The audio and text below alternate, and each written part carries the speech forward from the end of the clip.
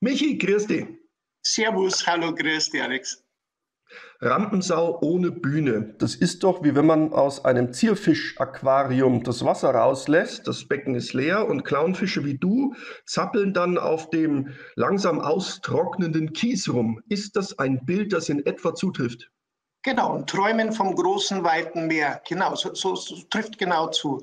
Also wenn dieser Goldfisch nur anfängt zu halluzinieren, dann passt eins zu eins auf mich das Ernste im richtigen Moment ins Lächerliche ziehen, das ist eine wertvolle Gabe und du bist mit ihr ausgestattet. Ähm, so ist wohl auch dein Buch Rampensau ohne Bühne entstanden. Im ersten Moment aber vielleicht erstmal nur für dich? Tatsächlich, also es war mehr so eine Selbsttherapie erst einmal, dass man ähm, weiter daran übt, sich selber nicht so ernst zu nehmen und mit der Krise lockerer umzugehen. Ja, genau.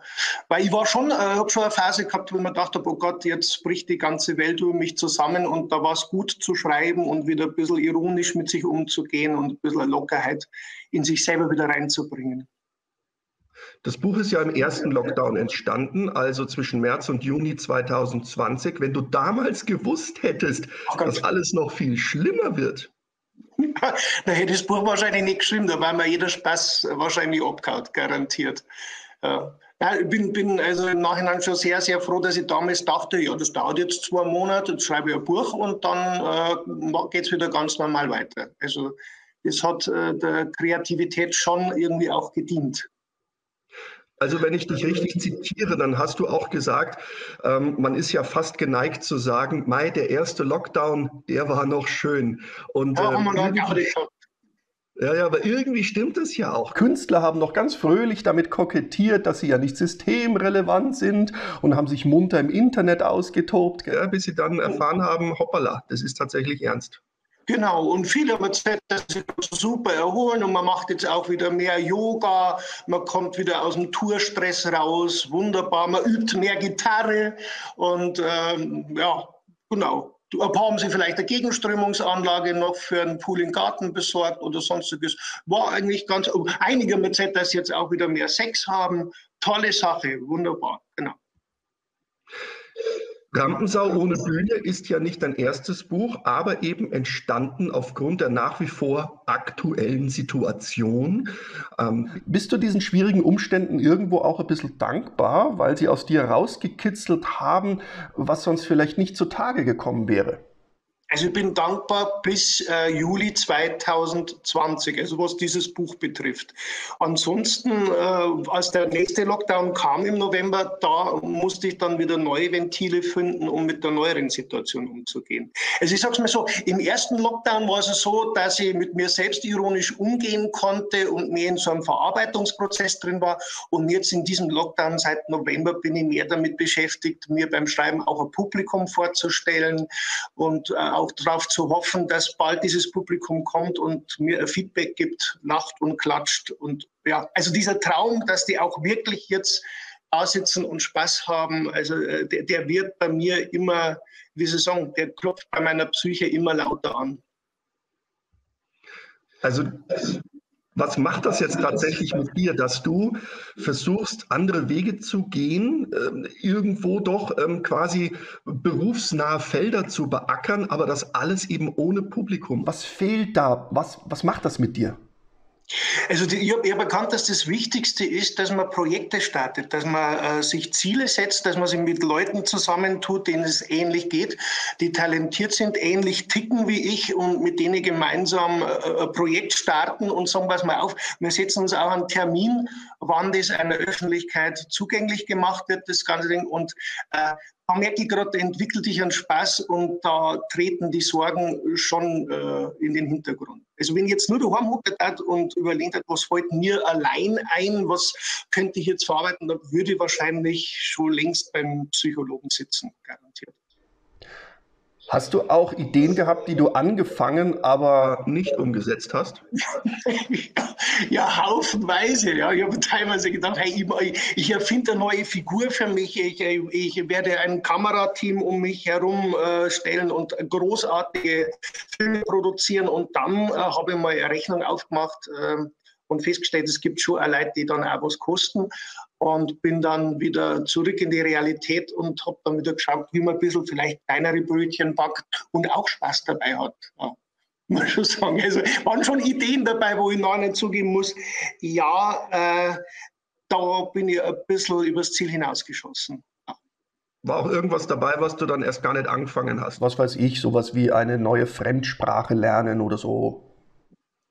Ich habe tatsächlich kurz überlegt, ob ich mein Französisch aufbessern soll oder ob ich vielleicht Kochkurse mache oder sowas. Aber äh, ich habe Gott sei Dank eine sehr gute Köchin zu Hause und da werde ich auch in Zukunft Gemüse schnippeln. Aber künstlerisch habe ich mir schon auch überlegt gehabt, ob ich größere Projekte mache. Und dann habe ich aber schnell festgestellt, dass ich nicht mehr das Einkommen habe, das ich vorher hatte und folglich war ganz schnell eins und eins zusammengerechnet und dann war klar, dass das überhaupt gar nicht umzusetzen, das geht gar nicht. Also muss man wieder neue Wege finden und sich ein bisschen die Hörner abstoßen wieder und, und ja, ich habe tatsächlich dann auch ein paar Projekte gefunden, wo ich jetzt dran bin und die Spaß machen und mich ja, am Kopf oben halten lassen. Meinst du damit auch vielleicht neue Umgangsformen zu Hause, also wie zum Beispiel die Ohrwurmfolter? Ja, diese Geschichte im Buch beschrieben habe. Also das, das ist etwas, womit wir uns auch schon außerhalb Coronas in der Familie immer wieder getritzt haben. Also kurz zur Erklärung für den Zuschauer. Ohrwurmfolter ist, dass man einem Familienmitglied eine Melodie in den Kopf setzt, die man schon kennt und die der andere aber auch nicht mag. Also bei uns war das äh, I Am Sailing von äh, Rod Stewart.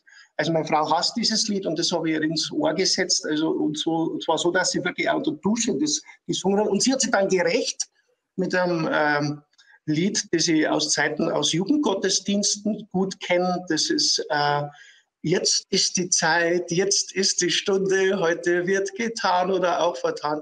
Ja, und es geht dann immer so weiter. Der eine hat dem anderen was hin, der andere hat dem anderen was hin. Äh, das ist jeweils für eine Seite ein großes Amüsement und für die andere Seite ein großes Ärgernis. Äh, momentan sind wir bei ähm, ähm, Tanze Samba mit mir, sind wir momentan. Oh, das ist ganz übel. Das ist auch schlimm. Vor allem, wenn du dann anfängst zu tanzen noch dazu. Katastrophe. Katastrophe. Und du bringst es wirklich den ganzen Tag nicht mehr aus dem Kopf. Oder äh, Genghis Khan ist auch eine Katastrophe.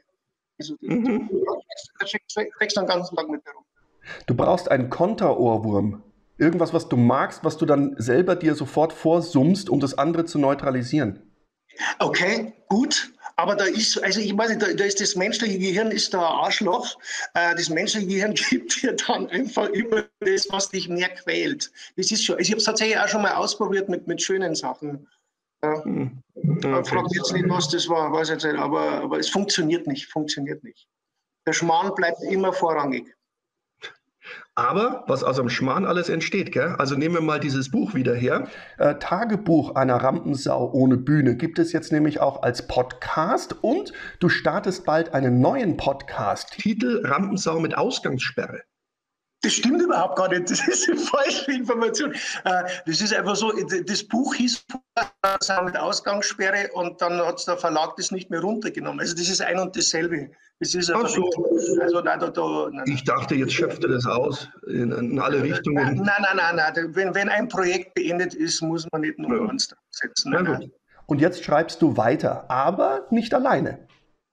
Genau. Also in erster Linie ist es mein lieber Freund Alex Liegel, der ein tolles Theaterstück geschrieben hat. Es geht um Bonnie und Clyde. Ich zeige mal ganz kurz das Plakat. Es heißt Ratatata, die wirklich wahre Geschichte von Bonnie und Clyde in den Hauptrollen und den einzigen Rollen. Also, äh, Konstanze Lindner, Michael Altinger und Alex Liegel. Wir sind drei Schauspieler und wir spielen 17 Rollen in dem ganzen Ding. Und wir erzählen, dass Bonnie und Clyde jetzt noch leben und nochmal ein letztes großes, krumme Ding drehen wollen in Las Vegas und es gibt einen Wahnsinns-Showdown am Schluss.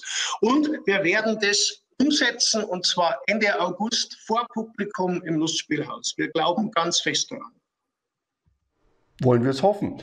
Du, glaubst du, wir können noch ein bisschen was hören aus deinem neuen Buch Rampensau ohne Bühne? Hast du es gerade da? Eine Seitenkunde der Fall. Ich habe es zufällig da. Es ist zufällig hier. Ja. Schön, dann schlag doch schon mal die entsprechende Seite auf. Welche Seite? Es ist die Seite 49 und die Geschichte ist jene, dass man ja beim ersten Lockdown noch selber Atemmasken schneidern durfte.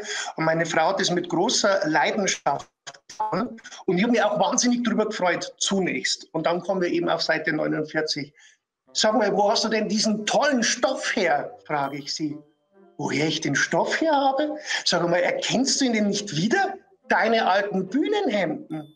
Ich lache. Ja, meine alten Bühnenhemden, die hast du zerrissen und zerschnitten und Atemmasken draus genäht. Mein ausgebufftes, freches Mädchen. Und sie, ja genau. Meine Stimmung verändert sich jetzt doch. Das ist nicht dein Ernst. Und sie, woher sollte ich denn sonst diesen Stoff herkriegen? Jetzt weine ich. Du verarscht mich, oder? Sag mir, dass du mich bloß verarscht. Und sie, die hängen seit Jahren im Keller rum. Die waren völlig eingestaubt und am Boden lagen überall fettgefressene Motten und haben laut geröchelt. Das ist nicht lustig. Und sie, jetzt kriegt die wieder Ei. Nie im Leben hättest du die alten Dinger noch einmal genutzt, weder auf der Bühne und schon gar nicht privat. Darum geht's doch gar nicht. Es waren Freunde. Es waren nicht nur alte Hemden, treue Begleiter durch Freude und Leid, meine zweite Haut, mein Zuhause in der oft so fremden Welt von Glamour und Show. Hier, riech mal, das ist Schweiß, echter Bühnenschweiß, zusammengetragen in vielen Jahren harten, zusammengetragen in vielen aber,